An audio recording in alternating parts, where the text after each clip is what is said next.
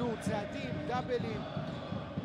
לא עושה שום פעולה חיובית כמעט, האיש היחיד שעושה את זה ברבע השלישי זה תומר גינת, שש נקודות רצופות ועכשיו מנסה להשלים שלוש במהלך